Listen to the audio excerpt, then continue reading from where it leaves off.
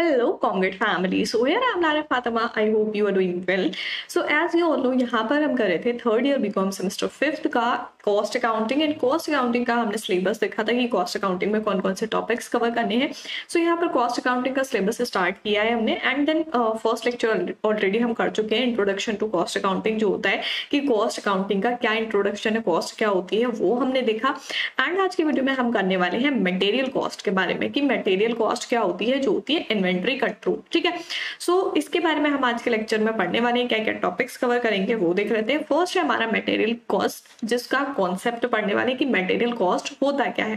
Then material control procedure material control का क्या procedure होता है? Documentation material requisition material requisition में क्या क्या डॉक्यूमेंट लगते हैं क्या पूरा उसका प्रोसेस होता है।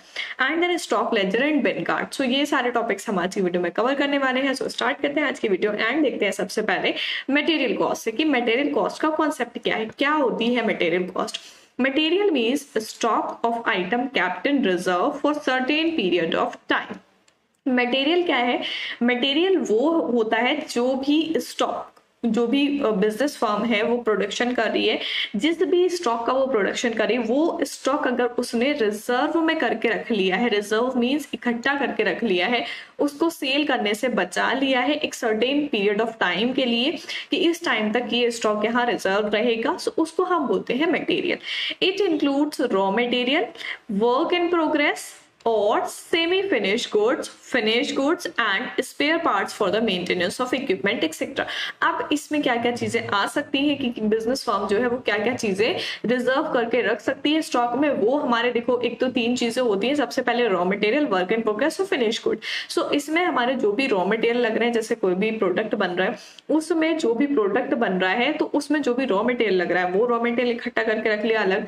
या फिर वर्क इन प्रोग्रेस जो प्रोडक्ट है आधे बने हुए हैं प्रोसेसिंग में चल रहे हैं, या फिर सेमी फिनिश गुड है, या फिनिश गुड है, पूरे बन गए, उनको इकट्ठा करके रख लिया है, या कोई स्पेयर पार्ट है जो मेंटेनेंस में काम आता है। सो ये सारी चीज़ें हमारी मटेरियल में इंक्लूड होती हैं। Raw material are those inputs that are converted into finish product raw material क्या है? वो इनपुट होते हैं। इनपुट का मतलब कि हम इनपुट डाल रहे हैं, तब उससे फिनिश गुड जो है, वो आउटपुट निकल के आ रहा है, ठीक है? सो हम कोई भी चीज़ का प्रोडक्शन करते हैं तो उसमें पहले उस चीज़ को बनाने के लिए जो है, वो रॉ मटेरियल लगाना पड़ता है ठीक है? Work in progress represent semi finished goods that require some work before they are ready for sale. यहाँ पर क्या बोला है? फ़र्स्ट स्टेप हमारा रॉ मटेरियल हो गया कि किसी भी चीज़ को अगर आपको बनाना है देन उसके लिए सामान खरीदना पड़ेगा। सामान खरीदने के बाद जब वो बन रहा है, ठीक है? वो प्रोसेस में है सो उसको हम बोलते हैं semi finish good semi finish good means कि वो रॉ मटेरियल में भी नहीं है फिनिश गुड्स में भी नहीं है। वो उन दोनों के बीच के प्रोसेस में है। सेमी फिनिश गुड है मतलब आधे फिनिश गुड्स है, ठीक है? सेल होने से पहले उसमें कुछ वर्क रह गया है, करने को, पूरा करने को रह गया, उसको हम सेमी फिनिश गुड बोलते हैं। Finish product are those which are ready for sale finish good से कौन से होते हैं? जो सेल के लिए रेडी होते हैं, जो पूरे बने हुए जैसे मान लो अगर हम फर्नीचर ले, ठीक है? फर्नीचर का अगर कोई भी शोरूम है प्रोडक्शन होता है फर्नीचर का। ठीक है? सो फर्नीचर बनाने के लिए क्या रॉ मटेरियल की ज़रूरत पड़ेगी? सबसे पहले तो वुड की ज़रूरत पड़ेगी, ठीक है? सो वुड यहाँ पर क्या हो गया? रॉ मटेरियल हो गया। अब जो रॉ मटेरियल से फिनिश गुड में प्रोसेसिंग हो रही है फर्नीचर बन रहा है, मान लो आधा बना है, उसमें अभी फिनिशिंग रह गई है, या कोई भी जो भी उसमें काम करना है, वो पूरा नहीं हुआ है सो वो हमारा किसमें आ जाएगा? सेमी फिनिश गुड्स में आ जाएगा। और अगर फर्नीचर पूरा बन के तैयार हो गया, ठीक है? अगर पूरा बन के तैयार हो गया देन वो हमारा किसमें आएगा? फिनिश गुड गुड्स में आएगा कि भाई अगर इसकी जो है कोई भी परचेजर आता है कोई भी कस्टमर आता है इसको परचेज करने के लिए देन ये सेल कर दिया जाएगा। सो so, उसको हम बोलते हैं रेडी टू सेल ठीक है? Inventory is physical stock of item that a business or production organization keep in hand for efficient running of its production function. Inventory क्या है Inventory का मतलब यहाँ पर है कि physical stock जो भी होता है किसी भी business firm का जो वो produce करती है so वो अलग रख लेना उसको ठीक है? किस लिए अलग रख लेना ताकि उनका जो प्रोडक्शन फ़ंक्शन है वो इफिशियंटली चल सके? इसलिए जो कुछ इन्वेंट्री होती है, कुछ स्टॉक होता है, उसको अलग रख लिया जाता है ताकि जब उसकी ज़रूरत पड़े, तब उसको निकाल लिया जाए। In simple words inventory means stock item और item in stock simple words में हम कह सकते हैं कि स्टॉक आइटम जो स्टॉक करके रखे हुए हैं या फिर जो आइटम स्टॉक में है। ठीक है? सो so, इन्वेंट्री हम उसको बोलते हैं। इन्वेंट्री या मटेरियल कॉस्ट यही तो हम पढ़ रहे हैं। इन्वेंट्री कंट्रोल या मटेरियल कॉस्ट ठीक है? सो so, मटेरियल क्या है? वो हमने देख लिया। मटेरियल में हमारी क्या क्या चीज़ें आ जाएँगी? रॉ मटेरियल आ जाएगा।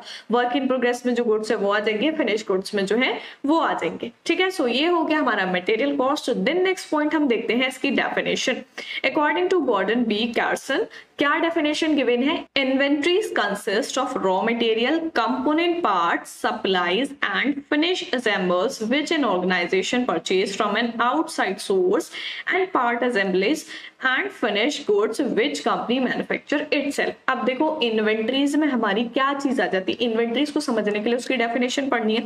सो so, डेफिनेशन में भी क्या चीज़ बताइए जो अभी हमने पढ़ी है कि इन्वेंट्री में टोटल सारी चीज़ें क्या आ जाती है? फ़र्स्ट वन मटेरियल ठीक है जो भी रॉ मटेरियल आ जाएगा उसके कंपोनेंट जो पार्ट्स है वो आ जाएँगे। एंड जो भी फिनिश गुड्स है वो आ जाएँगे। या यहाँ पर क्या बोला है कि जो ऑर्गेनाइजेशन है उसने जो बाहर से परचेज किया है। बाहर से परचेज करना मतलब जो रॉ मटेरियल है वो बाहर से ही परचेज करते हैं या फिर उसने जो है खुद से जो मैन्युफैक्चर uh, किया है खुद से प्रोड्यूस किया है वो सारी चीज़ें यहाँ पर आ जाएँगी। तो यहाँ पर आपको एक चीज़ ध्यान रखनी है रॉ मटेरियल ठीक है?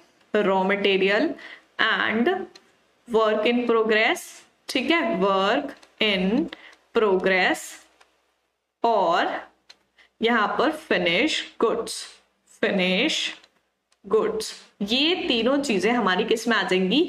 इन्वेंट्री में। ठीक है? इन तीनों को मिलाकर हमारी क्या बनती है?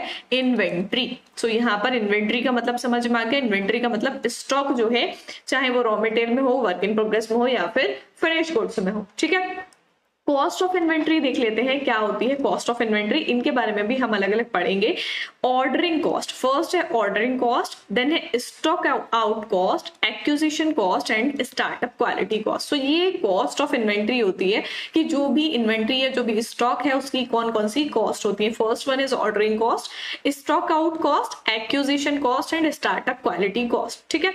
सो ये हो गई देन नेक्स्ट पॉइंट हम देखेंगे implication of holding inventories inventories को होल्ड करने के लिए कौन कौन सी इम्प्लीकेशन होती हैं? So first one is carrying cost अब कैरिंग कॉस्ट क्या होती है? कैरिंग कॉस्ट में हमारा इंटरेस्ट आ जाएगा डेट पर जो भी इंटरेस्ट होता है क्लीनिंग लाइटिंग कूलिंग रिपेयरिंग ये सारी चीज़ें जो आती है, ये कैरिंग कॉस्ट में आ जाती है। इंश्योरेंस फाइनेंस ठीक है? जो भी हैंडलिंग कॉस्ट होती है, वो सारी चीज़ें हमारी किसमें आएँगी? कैरिंग कॉस्ट में आ जाएँगी, ठीक है? देन नेक्स्ट है हमारा cost of customer responsiveness second one is cost of customer responsiveness so customer responsiveness वाली कॉस्ट कौन सी होती है?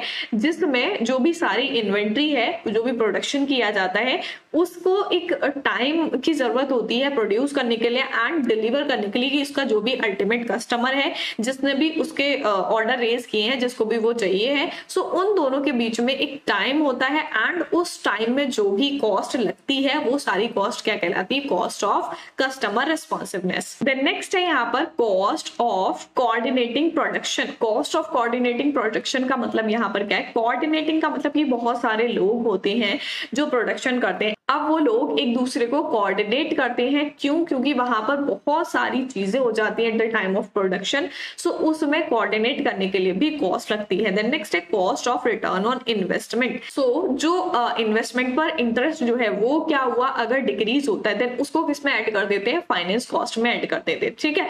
और उससे फिर क्या होता है? जो भी इंटरेस्ट रेट होते हैं डेट पर और स्टॉक प्राइस पर उनको क्या किया जाता है? स्टॉक प्राइस वाले रिड्यूस कर दिए जाते हैं। हैं एंड डेट वाले इंक्रीज कर दिए जाते हैं, ठीक है? सो ये हो जाएगा हमारा cost of return on investment then next is reduce capacity cost reduce capacity cost क्या होती है? अब यहाँ पर आपको कैपेसिटी का मतलब समझ में आ रहा है कि जितनी ज़रूरत है या जितनी सेल हो रही है, उतना ही प्रोडक्शन हो, वरना जो भी कैपेसिटी कॉस्ट है उसको रिड्यूस कर दिया जाए, ठीक है? देन नेक्स्ट है large lot quality cost large lot quality cost का मतलब जब प्रोडक्शन जो है वो ज़्यादा होगा सो उसमें कॉस्ट जो है वो ज़्यादा लगेगी। देन नेक्स्ट है कॉस्ट ऑफ़ प्रोडक्शन प्रॉब्लम्स जो भी कॉस्ट ऑफ़ प्रोडक्शन से रिलेटेड प्रॉब्लम्स होती हैं वो उसमें कौन सी कॉस्ट लगती है? जैसे हायर प्रोसेस हो गया इन्वेंट्रीज का तो उसमें जो भी प्रोडक्शन प्रॉब्लम्स आ रही है प्रॉब्लम जैसे कि मशीन का ब्रेक ब्रेक डाउन हो गया या फिर कोई प्रोडक्ट क्वालिटी जो है वो खराब है या फिर मटेरियल शॉर्टेज हो गई तो ये सारी चीज़ें किसमें आएँगी? प्रोडक्शन प्रॉब्लम में आ जाएँगी। सो so, उसमें जो कॉस्ट लगती है वो होती है cost of production problems so ये सारी इंप्लीकेशन हो जाएँगी. एंड देन नेक्स्ट पॉइंट हम देखेंगे material control procedure material control procedure क्या होता है? There is a purchase department which carries out function of purchase materials अब देखो, एक हमने डिपार्टमेंटल अकाउंट्स जो पढ़े होते हैं, उसमें क्या बोला होता है कि कोई भी बिज़नेस फर्म है, उसके अंदर अलग अलग डिपार्टमेंट्स बना दिए जाते हैं ताकि वर्क जो है वो इफिशियंटली हो सके एंड जिसका वर्क है उसको डिवाइड कर दिया जाए। जैसे अगर मान लो कोई भी बिज़नेस फर्म है एबीसी ठीक है? अब उसमें चार डिपार्टमेंट बना दिए गए, ठीक है? चार डिपार्टमेंट बना दिए गए एंड ये हमारा production department sales department marketing department finance department ठीक है? सो अलग अलग सबके डिपार्टमेंट बना दिए तो यहाँ पर एक डिपार्टमेंट ऐसा बना देते हैं जो हमारा कहलाता है परचेज डिपार्टमेंट जिसका काम क्या है कि जो भी मटेरियल है, उसको परचेज करना है, ठीक है? सो परचेज डिपार्टमेंट का काम क्या होता है? मटेरियल को परचेज करना।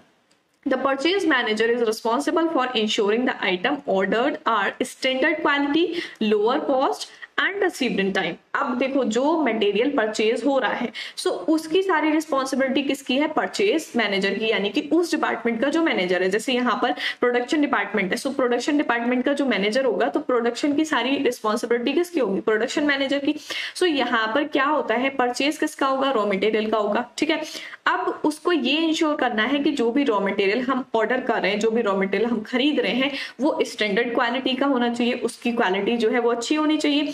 दूसरी चीज़ उसकी कॉस्ट जो होनी चाहिए वो कम होनी चाहिए क्योंकि अगर कॉस्ट ज़्यादा होगी देन उसका सेलिंग प्राइस भी ज़्यादा होगा और अगर सेलिंग प्राइस ज़्यादा होगा देन हो सकता है सेल उससे डिक्रीज हो जाए और प्रॉफिट मार्जिन भी उसमें कम रहेगा। सो so, उसकी कॉस्ट जो है वो भी कम होनी चाहिए एंड जो ऑर्डर किया है वो रिसीव भी हमें टाइम पर हो जाना चाहिए। सो so, ये सारी चीज़ें कौन इंश्योर करता है? जो भी परचेज डिपार्टमेंट का परचेज मैनेजर होता है।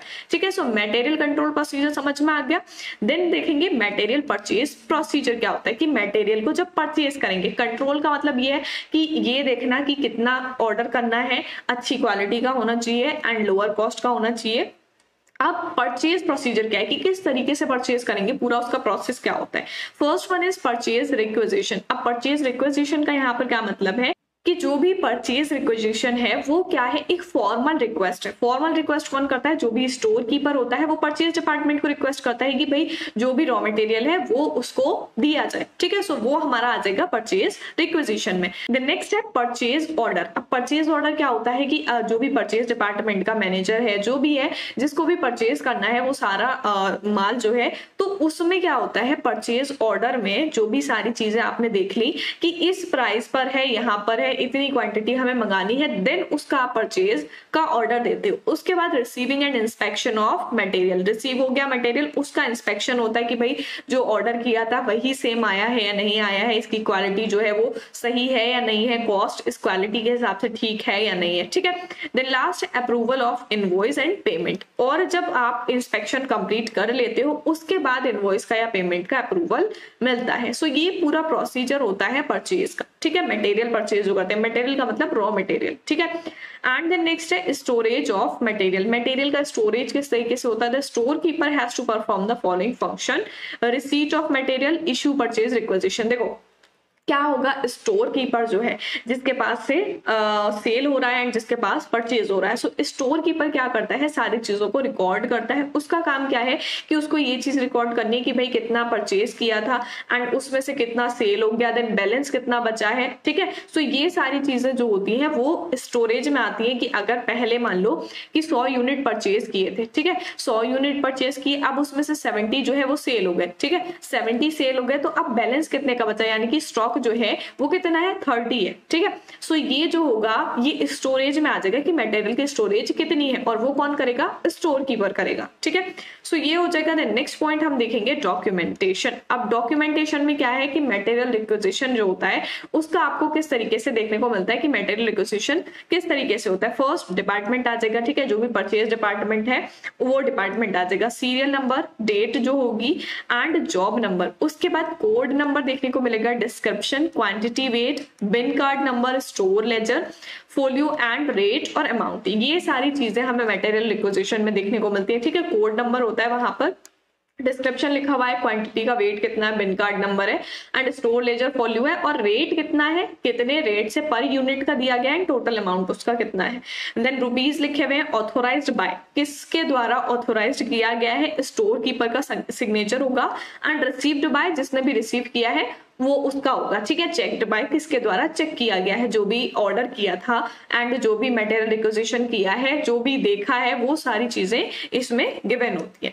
देन नेक्स्ट हम देखेंगे store ledger and bin card पहले देख लेते हैं स्टोर लेजर स्टोर लेजर क्या होता है? It is also known as store ledger card या मेटेरियल लेजर कार्ड इसको हम स्टोर लेजर कार्ड और मेटेरियल लेजर कार्ड के नाम से भी जानते हैं। It refer to tracking the inventory level in the company during given period of time अब देखो, समझ में आ गया स्टोर लेजर का मतलब क्या है?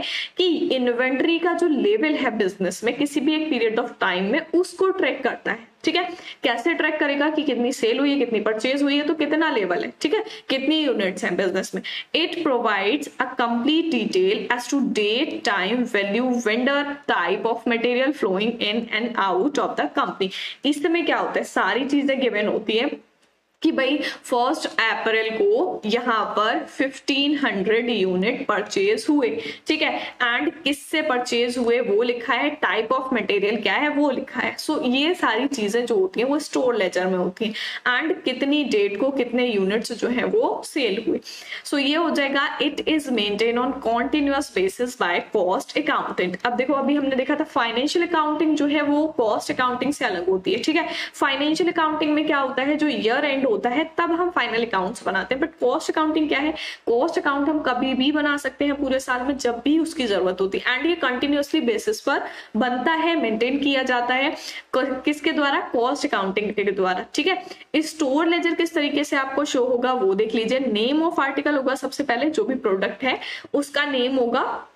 And then minimum quantity symbol unit कितनी है? Maximum quantity bin number and bin card number previous year consumption कितना रहा है और पीरियड ऑफ़ डिलीवरी? डिलीवरी के बाद यहाँ पर ऑर्डर्ड क्वांटिटी एंड अमाउंट कितने ऑर्डर किए हैं क्वांटिटी कितनी है एंड ऑर्डर नंबर क्या है, और डेट कब रिसीव हुआ जब ऑर्डर किया था, उसके बाद जब, ऐसा तो नहीं है कि जब ऑर्डर करोगे, उसी टाइम रिसीव हो जाएगा। सो जिस डेट को रिसीव हुआ है। ये आ गया देन उसके बाद यहाँ पर date and reference receipt issue और बैलेंस ये क्वांटिटी का हो जाएगा। उसके बाद आपको अमाउंट का देखने को मिलेगा। अमाउंट में रिसीट हो जाएगा इशू हो जाएगा एंड बैलेंस हो जाएगा। रिसीट में आपका जो भी परचेज किए हैं, वो आ जाएँगे एंड इशू इशू में जो भी सेल किए हैं वो आ जाएँगे। सो so, जितने परचेज किए हैं वो स्टॉक था। अब उसमें से सेल कर दिए। जितना बचा वो बैलेंस बच जाएगा यहाँ पर ठीक है? एंड कितने रेट से होगा वो रेट आ जाएगा एंड उसका अमाउंट आ जाएगा। सो so, ये आपको स्टोर लेजर पूरा देखने को मिलता है इस तरीके से। स्टोर लेजर समझ में आ गया? नेक्स्ट पॉइंट हम देखेंगे बिन कार्ड बिन कार्ड क्या होते हैं?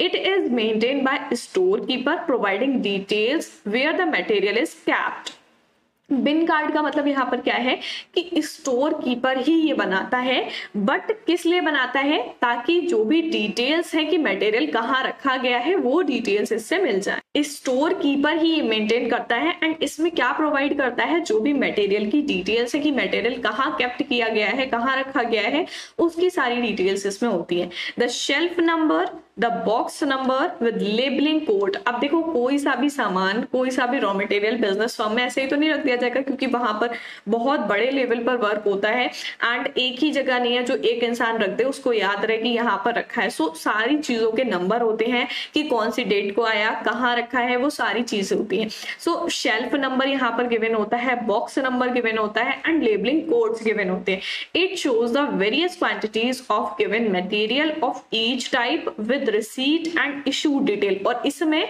अलग अलग क्वांटिटीज होती हैं कि मान लो किसी भी प्रोडक्ट की 10 यूनिट है, किसी की 15 यूनिट है, किसी की सौ है, किसी की 200 है अलग अलग क्वांटिटी है एंड जो भी मटेरियल होता है, हर किसी का टाइप अलग अलग होता है।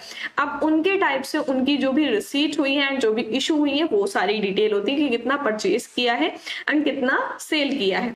It also uh, refers to sorting of the material into different categories and bins for easy accessibility. यहाँ पर क्या बोला है? ये क्यों किया जाता है? बिन कार्ड का मतलब क्या है? कि जो भी मटेरियल है उसको सॉर्ट करने के लिए कि जो अलग अलग कैटेगरी का है उसको अलग अलग क्लासिफाई करके रख दे ताकि हमें आसानी हो ताकि वो इजीली एसेसेबल हो। जब भी उस चीज़ की ज़रूरत हो तब पता हो कि कहाँ पर है क्या नंबर है एंड कितनी क्वांटिटी है उसकी ये सारी चीज़ें जो है। मतलब यहाँ पर बोल दिया कि जो भी कैटेगरीज हैं जो भी इन्वेंट्री है, उसको जो भी मटेरियल है, उसको सही से एकदम पहचानने के लिए कि कहाँ पर रखा हुआ है एसेसिबिलिटी के लिए उसको इसलिए बिन कार्ड बनाया जाता है। सो बिन कार्ड कैसा होता है? मटेरियल का कोड गिवन होता है उस पर मटेरियल का डिस्क्रिप्शन होता है location and unit of measurement होता है maximum level minimum level and reorder level ये सारी चीज़ें गिवन होती है, ये जो भी नेम आप देख रहे हो, इनके बारे में भी हम डिटेल पढ़ने वाले हैं एंड क्वेश्चंस भी इसके करने वाले हैं। सो बिन कार्ड में सबसे पहले आप देखोगे डेट का column then doc number received from and issue to जो भी सेल या परचेज हुई है रिसीट या इशू एंड बैलेंस जो बचेगा, कि कितने रिसीट हुए एंड कितने इशू हुए, उसके बाद बैलेंस कितना बचा है वेरिफिकेशन होगा, उसके बाद डेट एंड वेरीफाइड बाय किसके द्वारा वेरीफाइड किया गया एंड कौन सी डेट को वेरीफाई किया गया, ठीक है? जैसे मान लो यहाँ पर, ऐसे बना लेते हैं कि यहाँ पर जो है फाइव बॉक्सेस हैं, ठीक है? फाइव बॉक्स यहाँ पर बने हुए हैं एंड फोर टाइप के मटेरियल परचेज किए ठीक है? फोर टाइप का मटेरियल परचेज किया। एक की हंड्रेड यूनिट है एक की फाइव हंड्रेड है एक की फोर हंड्रेड है एक की थ्री हंड्रेड है। सो so, यहाँ पर अलग अलग मटेरियल जो है मान लो हंड्रेड यूनिट जिसकी परचेज की है उसको मान लिया ए ठीक है? एंड उसको इस वाले बॉक्स में यहाँ पर रख दिया। सो so, इसके जो भी चीज़ें होंगी कि हंड्रेड यूनिट है एंड इसको हमने ए माना है वो सारी चीज़ें वहाँ पर लिखी हुई होंगी ठीक है? सो so, वो हमारा बिन कार्ड में आ जाएगा। देन नेक्स्ट है मेथड ऑफ़ इन्वेंट्री क्या क्या मेथड्स होते हैं इन्वेंट्री के? First one is periodic inventory method and second one is perpetual inventory method दो मेथड यहाँ पर आपको गिवन है। पीरियडिक इन्वेंट्री मेथड क्या होता है? वो देख लेते हैं। Under this method taking inventory value of stock is determined by physical counting of stock and accounting date of preparation of the final account देखो पीरियडिक इन्वेंट्री का मतलब यहाँ पर क्या है कि जो पीरियड है, जो टाइम पीरियड है, उस टाइम में जितनी इन्वेंट्री है, उसका क्या किया जाता है? एक्चुअल फ़िज़िकल काउंटिंग की जाती है, ठीक है? जैसे मान लो, अगर यहाँ पर फ़र्स्ट अप्रैल को की जा रही है, ठीक है? फ़र्स्ट अप्रैल को ये चेक किया जा रहा है कि जो स्टॉक है, जो इन्वेंट्री है, वो टोटल कितनी है? तो फ़र्स्ट अप्रैल को जितने भी स्टॉक होगा, उसकी फ़िज़िकल काउंटिंग की जाएगी। एंड उस डेट को जितनी भी फ़िज़िकल काउंटिंग है देन फाइनल अकाउंट्स में उसकी प्रिपरेशन में वो स्टॉक लिख लिया जाएगा। सो so, ये होता है पीरियडिक इन्वेंट्री मेथड में। देन परपेचुअल इन्वेंट्री मेथड में क्या होता है? Perpetual inventory method defined as a system if record maintained by controlling department which reflect the physical movement of stock in their current balance under this method stock register are maintained to make a record of the physical movement of stock in their current balance अब perpetual method ज़्यादा best है क्यों क्योंकि इसमें जो है कि easy है अब जब भी सेल या परचेज हो रही है जो भी ट्रांजेक्शन हो रही है स्टॉक की स्टॉक का मूवमेंट इन हो रहा है आउट हो रहा है उस चीज़ को रिकॉर्ड कर ले रहे हैं एट दैट टाइम ठीक है? सो वहाँ पर क्या होगा? अपने आप बैलेंस निकल के आ जाएगा। ठीक? जैसे मान लो यहाँ पर कि एक डेट को 15 डेट को यहाँ पर परचेज की। सो so, परचेज लिख लिया कितने यूनिट की परचेज की? 1500 है। सो फिफ्टीन हंड्रेड लिख लिया। एंड देन ट्वेंटी को यहाँ पर सेल कर दी। सेल कर दी 500 यूनिट की। ठीक है? 500 यूनिट की कर दी। अपने आप बैलेंस निकल के आ जाएगा 1000 ठीक है? 1000 निकल के आ गया। ये होता है perpetual inventory method but periodic inventory method में क्या होता है? ये काउंटिंग नहीं होती है। वहाँ पर जब ज़रूरत होती है, तभी फ़िज़िकल काउंटिंग होती है। सो परपेचुअल इन्वेंट्री मेथड में क्या है कि पूरा स्टॉक रजिस्टर बनता है। जितना भी उसमें इन्वेंट्री इन हो रही है, जितने भी आउट हो रही है, जितना मूवमेंट हो रहा है, वो सारा वहाँ पर रिकॉर्ड किया जाता है। और उससे फिर बैलेंस निकल के आ जाता है कि किसी भी टाइम पीरियड में, किसी भी डेट को जो स्टॉक है, उसका बैलेंस कितना है। सो so ये हो जाएँगे मेथड ऑफ़ इन्वेंट्री नेक्स्ट हम देख लेंगे जो भी मेथड है, उन दोनों में डिफरेंस क्या होता है? पीरियोडिक इन्वेंट्री मेथड क्या होता है? एंड परपेचुअल इन्वेंट्री मेथड क्या होता है? होप आप लोग को समझ आ गया होगा। डिफरेंस देख लोगे तो और ज़्यादा समझ में आ जाएगा। It is based on physical stock taking physical stock taking का मतलब है कि जो भी बिज़नेस फर्म में स्टॉक है उसको हम मानते हैं पीरियडिक इन्वेंट्री में। बट परपेचुअल में क्या होता है? It is based on record कि रिकॉर्ड में जितना है कि जितना सेल हुआ है, जितना परचेज हुआ है, उस हिसाब से मानते हैं कि भाई इतना रिकॉर्ड हुआ है, इतना सेल हुआ है, इतना परचेज हुआ है, ये बैलेंस निकल के आया तो स्टॉक की वैल्यू ये होगी। It provides data periodically once in a year periodic inventory जो होती है, उसमें सिर्फ़ मतलब कब ज़रूरत होती है? ईयर एंड जब होगा थर्टी मार्च को होगा, या फिर थर्टी दिसंबर को होगा, या जिस भी डेट को कोई भी बिज़नेस फर्म है, वो मानती है अपना ईयर एंड सो वो जो होगा, वो क्या हो जाएगा? मतलब फाइनल अकाउंट्स जब बनाते हैं तो ईयर एंड पे बनाते। हैं अब ईयर एंड पे जब ज़रूरत पड़ रही है स्टॉक की सो उस टाइम पे यहाँ पर डेटा प्रोवाइड होता है पीरियडिक इन्वेंट्री में। बट परपेचुअल में क्या होता है? परपेचुअल इन्वेंट्री में ये कभी भी जो है आप देख सकते हो, उठा के उसका बैलेंस निकल के आ जाएगा। It provides the data on running basis and thus facilitates the preparation of financial statement at shorter intervals. इसमें क्या होता है डेटा को आप रनिंग बेसिस पर देख सकते हो रनिंग बेसिस पर मतलब कि किसी भी टाइम पीरियड पर आप उठा के देख सकते हो कि स्टॉक की वैल्यू क्या है तो इसमें सारी डेट का स्टॉक निकल के आ जाता है, कितना परचेज हुआ, कितना सेल हुआ एंड कितना बैलेंस बचा है। द नेक्स्ट देखेंगे it does not provide basis control जो पीरियडिक इन्वेंट्री मेथड होता है, उसमें बेसिस कंट्रोल नहीं होता है। But it provides basis for control by investigating and discrepancies arising from the comparison of physical stock with book values perpetual में हम क्या कर सकते हैं? जो भी इन्वेस्टिगेशन होगी, जो भी रिकॉर्ड्स है, अगर उसमें कोई भी चीज़ गड़बड़ होती है देन उसको क्या करते हैं? कंट्रोल कर सकते हैं। The next, it is simple and economical method taking inventory and can be adopted in small concern. Small concern के लिए अब जब बड़ी बिज़नेस यूनिट है तो उसमें at the time physical counting जो है वो करना थोड़ा मुश्किल हो जाएगा कि भाई कितनी यूनिट है उसको काउंट करो उसके बाद लिखा जाएगा फाइनल अकाउंट्स में। बट ये स्मॉल कंसर्न के लिए जो है वो बेस्ट है। वो सिंपल होता है इकोनॉमिकल होता है। It is expensive as it require a lot of recording due to elaborate method of taking inventory elaborate method है कि भाई वो तो बढ़ता जा रहा है, जितना परचेज कर हो सेल कर हो सारा रिकॉर्ड करना है वहाँ पर, ठीक है? सो so ये जो है थोड़ा एक्सपेंसिव हो जाता है। It can be adopted by big concern only जो बड़ी कंपनीज़ है, बड़ी बिज़नेस फॉर्म है तो वो इन चीज़ों को अडॉप्ट कर सकती है जो परपेचुअल इन्वेंट्री मेथड्स हैं, ठीक है? सो उसमें सारे रिकॉर्ड करना पड़ता है कि जितना भी सेल परचेज हो रहा है, वो सारा रिकॉर्ड करें तो टाइम टू टाइम उसका बैलेंस निकलता रहता है। बट पीरियडिक में क्या है, यहाँ पर जो स्मॉल कंसर्न है, यानी कि छोटी बिज़नेस कंपनीज़ है वो इस मेथड को इजिली यूज़ कर सकती हैं। सो so, आज की वीडियो में देखा हमने मटेरियल कॉस्ट के बारे में इन्वेंट्री कंट्रोल के बारे में क्या होती है material cost and according to Gordon B Carson यहाँ पर आपको डेफिनेशन गिवन है क्या होती है कॉस्ट ऑफ़ इन्वेंट्री क्या है इम्प्लीकेशन क्या होते हैं होल्डिंग इन्वेंट्री के एंड मटेरियल कंट्रोल प्रोसीजर क्या होता है उसमें मटेरियल परचेज प्रोसीजर क्या होता है डॉक्यूमेंटेशन क्या होता है एंड स्टोर लेजर और बिन कार्ड क्या होता है वो देखा एंड उसके बाद methods of inventory and difference in methods of inventory तो आई होप आप लोग को समझ में आ गया होगा क्या होती है हमारी मटेरियल एंड uh, ये हो गई हमारी आज की वीडियो द नेक्स्ट वीडियो में हम करेंगे नेक्स्ट टॉपिक समझते हैं नेक्स्ट वीडियो में. तब तक के लिए गुड बाय